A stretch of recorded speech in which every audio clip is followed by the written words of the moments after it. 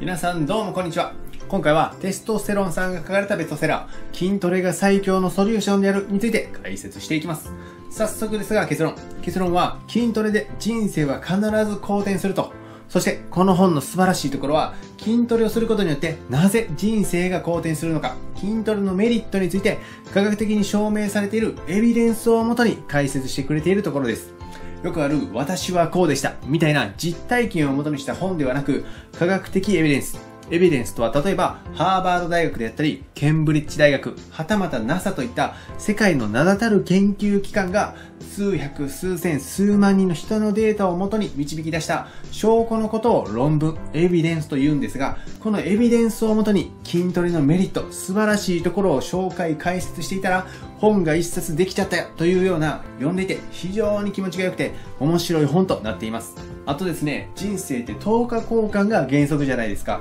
一つのことを行えば一つのことが上達する。いい方向に進む。この10日交換が原則だからこそ一つのことで二度三度美味しいことを一石二鳥や一石三鳥と言ったりするわけですが筋トレって一石三鳥どころじゃないんです。筋トレに馴染みのない人からすれば筋トレって筋肉がつくだけじゃないのと思いがちなんですが科学的に証明されているメリットだけをざっと数えただけで20個以上あるんですよ。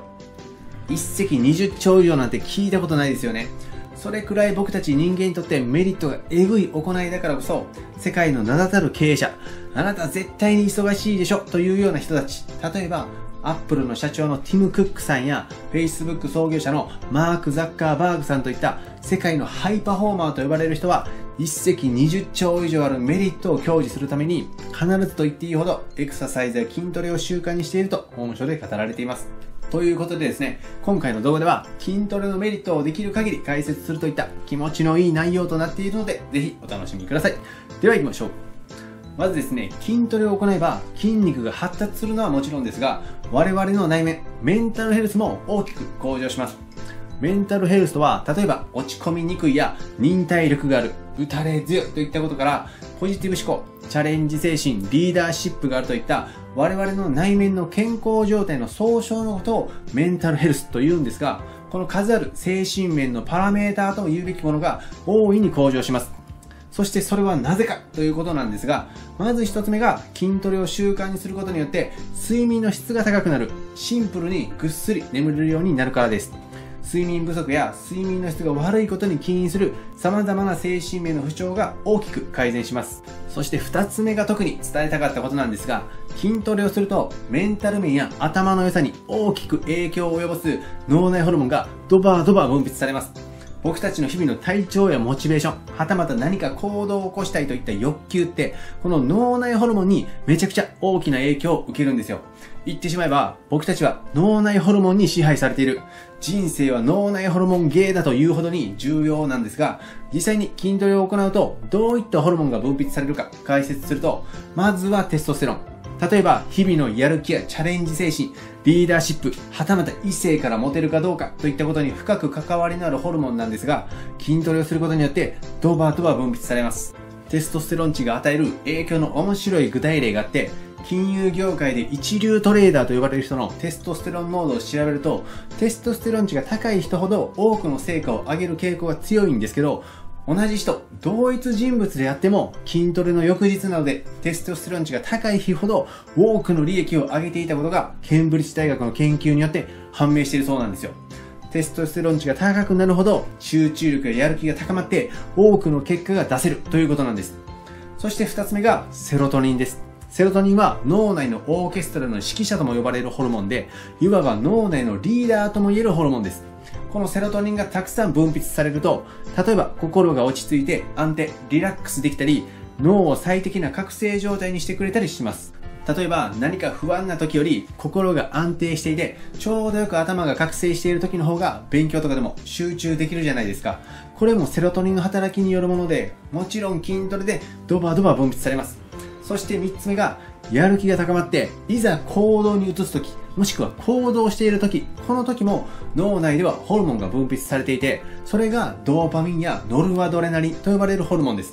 いわば頭の中のガソリンとも言える非常に重要なホルモンなんですが、もちろん筋トレで分泌されます。そして最後、何か気持ちいいと感じている時や、気分が高揚している時、気分がハイになっている時に分泌される脳内麻薬とも呼ばれるホルモンがベータエンドルフィンと呼ばれるホルモンで、先ほど紹介したドーパミンの働きを20倍に高めてくれるとも言われるホルモンなんですが、これも筋トレでドバドバ分泌されるんですよ。まあ要するに筋トレをすることによって物理的に頭の中がいいホルモンだらけになってメンタルが向上すると。なのでですね、筋トレをまだ習慣にしていない人で、例えば日々のモチベーションを高めたいや、ポジティブ思考になりたいと思って自己啓発書や実用書を読まれる場合は、僕はですけど、数ある本の中からまずはこの本を手に取っていただいて、そして筋トレをすることによって、たくさんの脳内ホルモンを分泌させて、物理的に自分のメンタルを鍛える、向上させることをお勧めします。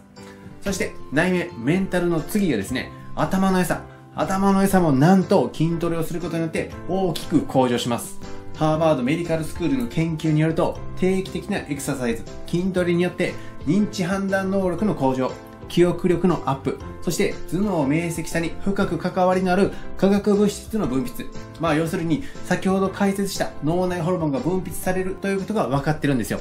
とにかく頭を良くしたいならダンベルをブンブン持ち上げたらいいと。そして最後が外見のメリットについてなんですが、まずは筋肉がついて余計な脂肪が減ることによって見た目が良くなります。あとですね、実年齢より若く見える、なんか若々しい、なんだったら若返るといった見た目の印象は肌の質感にも影響されるんですが、このためには皮膚の7割を占めるコラーゲンの生まれ変わり、肌のターンオーバーを促す必要があるんですが、なんと筋トレをすることによって肌のターンオーバーの指標さえも大いに増加します。筋肉が増えて、脂肪が減って、見た目が良くなって、そして肌の質感までもが良くなるということなんですよ。